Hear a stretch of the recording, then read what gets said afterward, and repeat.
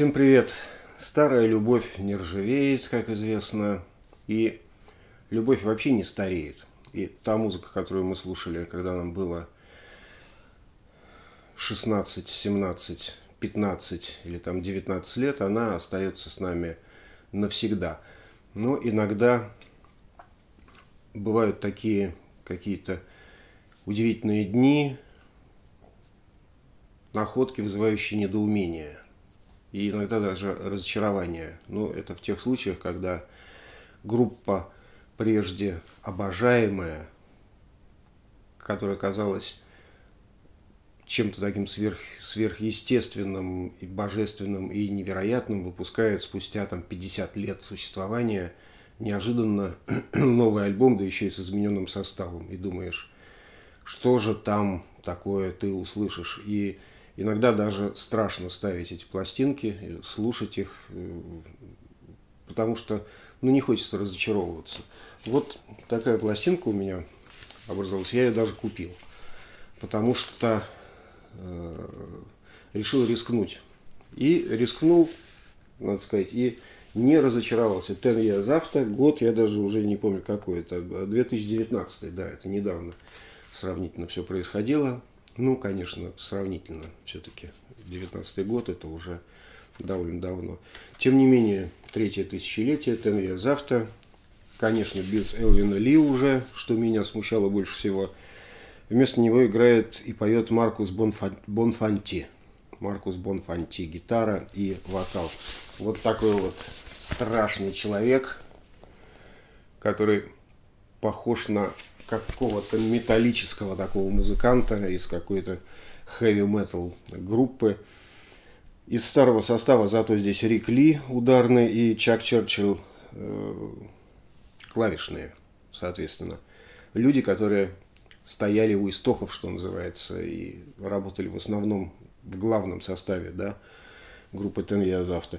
И Колин Хаджкисон, басист и вокалист, прекрасный бас-гитарист, виртуоз, который играл в сотни, наверное, разных составов, выпускает сольные альбомы. Я очень удивился, когда увидел э, Хадж, э, Хад э, Джескина в составе Ten Years After. И это один из моментов, который сподвиг меня приобрести этот альбом. Но я надо сказать, не ошибся, потому что Years After, конечно, здесь звучат по-другому. Несколько песен есть, э, написанных уже э, гитаристом вот этим Маркусом Бонфанти. Их, по-моему, три здесь, если я не ошибаюсь. Весь остальной материал – это классический Years After. И совершенно не вызывает никаких вопросов название этого коллектива Years After, потому что, как я уже говорил, Чак Черчилл и Рик Ли, музыканты оригинального состава, здесь играют и абсолютно имеют право, конечно, на все это дело. Тем более, что сыграно все безупречно. Этот альбом концертный и такой горячий, такой заводной, такой кайфовый, что местами даже превосходит, наверное, да простит меня дух Элвина Ли, наверное, превосходит даже то, что игралось э, в оригинальном составе с Элвином Ли, потому что там разные были тоже э, моменты. One of these days, песня здесь играется Hear Me Calling. I'd love to change the world, песня, которая мне меньше всего нравится из всего творчества Ten Years After, это пластинка Space and Time, вы это помните, наверное, да? Это момент, когда группа из блюзовой, из блюз-роковой вдруг повернула в сторону какой-то такой радиомузыки, мейнстрима, и стала пробовать писать такие радийные хиты, просто, просто такой стадионный рок.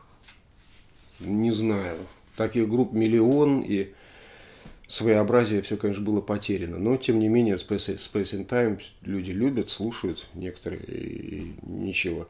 Silver Spoon Lady, песня, которая написана Бонфанти, Last Night on the Battle.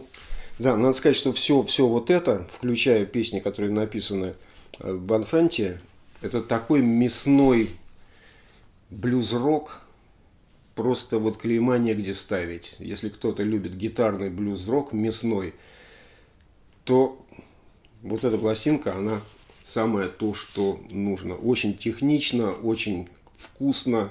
Какое нехорошее слово я сказал к музыке. Почему-то вылетело вдруг. Ну, бог с ним, простите меня. Очень точно, очень вкусно, очень блюзово и роково вместе с тем. Но без, без перегруза, без с перегрузом гитара, конечно, Гибсон играет все как надо. Она ревет, поет, звенит, хрипит. Я имею в виду без, э, без э, отчетливого крена в хард-рок. Вот этого нет. Чистый блюз-рок настоящий, все выдержано. Portable People, песня Элвина Ли, и две песни Don't Want You Woman и Losing the Dogs, сыгранные здесь Маркусом э, в акустике. И сразу вспомнился мне первый альбом Ten Years After, где эти песни исполняются. Они здесь не то чтобы в акустике, они в такой полуакустике электрической, но, но с, и с ударными, но все равно они звучат как акустические. И сразу меня кинуло в 1967 год первый альбом Ten Years After – не очень сильно он э, был популярен, несмотря на то, что группа уже играла на Уинзорском э, джазовом фестивале с огромной аудиторией. Не помню, сколько там было человек, по-моему, тысяч, не помню, не буду врать. Ну, большой был фестиваль, и группа с, с очень хорошим там выступила сетом, имела успех. Тем не менее, пластинка первая, это я завтра не пользовалась таким большим спросом. Почему-то, мне кажется, потому что, несмотря на то, что очень все здорово сыграно, очень все хорошо записано, она была похожа абсолютно на все блюзовые группы Англии того времени. Точно так же по звуку, точно так же по аранжировкам, за небольшим исключением, сейчас я к нему подойду. Но звучало так же точно, как ранние альбомы Джона Майла, как ранние альбомы даже ближе всего, наверное, к Manfred Mann's Band. Ранние пластинки. Не, не путать с Manfred Mann's Earth Band, а Manfred Mann's. Первые пластинки, ритм и блюзовые, абсолютно с легким креном в джаз, а иногда и с сильным, сильным креном в джаз. И записано так, что все инструменты звучат отдельно, все очень чистенько, все в реверберации, и все с таким английским минором подается. Хотя и быстренько, ритм и блюз, блюз, джаз такой блюзовый, но все такой вот английский минор, и все довольно так корректно. И по звучанию эта пластинка ни, ничем не выделяется вообще из э, общей обоймы британского блюза, хотя она хорошая. I Want To Know, первая песня, сразу сжигает ритм и блюзом, таким чуть-чуть даже с креном в то, что играли Rolling Stones в, в те годы. I Can Keep From Crying Sometimes – это уже классический Тенье завтра, несмотря на то, что сдержанная такая запись 67 года, точнее 66-го, пластинка вышла в 67-м, с мягким началом и с развитием, с ударом, с, э, дина, с динамикой, с таким внутренним роком, я бы сказал. Прямого рока никакого здесь нет, а такой внутренний рок – вот это вот посыл такой, такой, ах, от Элвина Ли, такой он присутствует. Adventures of, young, uh, of a Young Organ. Понятно, что приключения молодого клавишника, молодого органа. Блюзовый джаз, такой блюзовый джаз, гитара с органом. И Spoonful Вилли Диксона, очень странная версия, которая мне очень нравится. Она такая холодная. Вилли Диксон вообще писал горячие, и, э, и, и сам он исполнял все это с, в мажоре, в таком едком черном мажоре. А здесь, как я уже говорил, британский минор, очень сдержанно.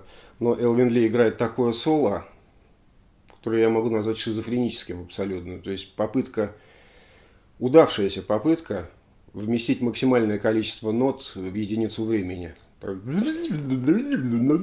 при этом гитара без искажений, почти чистый звук, но он, конечно, обработан в студии, но он без этих, без фузовых, без овердрайвовых, э, овердрайвовых э, вещей.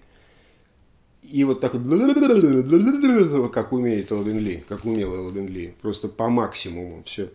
И слушается, да, довольно забавно. Ну и Losing the Dogs, по которой я уже говорил, такая полуакустическая. Вторая сторона Feel It For Me. Опять классический ритм и блюз электрический, британский, с, раз, с разделенными инструментами все, всеми. Love Until I Die. Поживее, уже аккордовые такие штучки блюзовые. Uh, Don't Want You Woman – как-то не запомнилась мне песня. И Help Me, десятиминутное полотно, написанное Сони Боем Вильямсоном в свое время. И Элвин опять здесь разгулялся на гитаре так, что непонятно, куда его игра приведет. То ли в сторону джаза, то ли в сторону хард-рока, то ли в сторону классического блюза – в общем, непонятно, но слушать приятно. Вот что я вам скажу. Для тех, кто любит британский блюз гитарный, 10 минут вот, этого, вот, вот этой вот безумной игры, конечно, будут очень кстати. Что касается вот этой пластинки, здесь такого безумия Элвина Ли нету. Таких вот э, джазовых э, улетов куда-то в, в дебри Майлса Дэвиса и Колтрейна – их нет. Здесь чистый блюз-рок. Бескомпромиссный, безоглядный, понятный и приносящий, для тех, кто любит блюз, гитарный, приносящий огромное удовольствие, потому что очень здорово все сделано и с уважением к автору, с уважением к Алвину Ли, с уважением к истории группы Years After, потому что, опять-таки, участники оригинального состава играют. Ну и, конечно, продолжение первого альбома Years After Undead.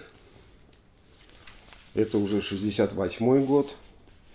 Почему вот эту пластинку я достал? Потому что это тоже концерт. И сравнивать вот с этим концертом вполне логично. Но это уже какой-то совсем такой джаз. Вот эта пластинка это расширенное издание. В оригинальном альбоме, оригинальный альбом, по-моему, из пяти песен состоит, а здесь их э, девять. Тут некоторые из двух частей. И хочется сказать, что оригинальный альбом, наверное, был сделан правильнее, потому что начинается «Рок Your Мама» и «Spoonful», две песни, которые не входят в оригинальное издание. «Рок Your Мама» просто ритм и блюз, электрический, тяжелый, но как-то без огонька сыгранный.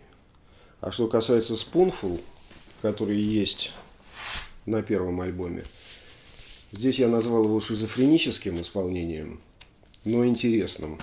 А вот здесь Spoonful примерно так, такой же по времени, по протяженности, примерно с такими же дикими э, около джазовыми э, соло э, Элвина Ли, но как-то все как-то совсем неинтересно, как-то тормозно, и от Спунфула здесь мало чего вообще осталось в этой версии. Формально да, все спето, сыграно, гармония, мелодия, ноты, соло, все, ну как-то вообще без огонька и, и, и, и непонятно зачем. И в оригинальный альбом эта песня не вошла. Вот в расширенном издании она есть. Но послушать все равно интересно. Maybe wrong, but I won't uh, be wrong always. Это уже это уже хорошо. И с этой песни именно начинается оригинальный альбом. Это уже такой вот зажигательный, сумасшедшенкой гитарный, гитарно-клавишный блюз, потому что соло на Хаммонде здесь в полный рост и очень интересное на самом деле. Summertime и э, Шантин э, Cabbage, сдвоенный номер, начинается с атомных каких-то проходов по ударным потомам Рика Ли. Один проход, два прохода, три прохода, четыре прохода. Непонятно, что это будет за песня. А потом начинается Summertime, классический номер, гитарная партия, э, мелодия начинается, но уходит в какие-то дебри джазовые уже Элвина Ли, уже совсем свои. И переходит в этот самый Шантин Кэббидж в соло на ударных – чисто джазовая уже, чистый джаз пошел. И непонятно, что это за группа перед нами. Это джаз-бенд или это блюзовая команда, или это рок-н-ролл, или что. Но э, Chopper Ball, следующий номер, все ставит на свои места, потому что понеслось, понеслось и понеслось. Гитарный блюз-рок с дикой скоростью, куда-то в сторону Брайана Седзера даже заносит иногда, потому что такие какие-то э, эхо 50-х и 60-х здесь присутствуют. И переходит все это Standing at the Crossroads, песню Роберта Джонсона, которая удивительно похожа на предыдущую Woodchopper's Ball по динамике, по скорости, по всему остальному. Про следующие три песни я говорить не буду, потому что это отдельная история, и мы поговорим о них в следующий раз. Скажу только, что на этой пластинке присутствует I'm Going Home, самое знаменитое произведение Ten Years After. Это Вудсток, это песня, которая входит во все сборники, наверное, Ten Years After, с диким гитарным соло, который все пытаются снять. В общем, очень хорошо. Ten Years After. И вот этот альбом очень рекомендую.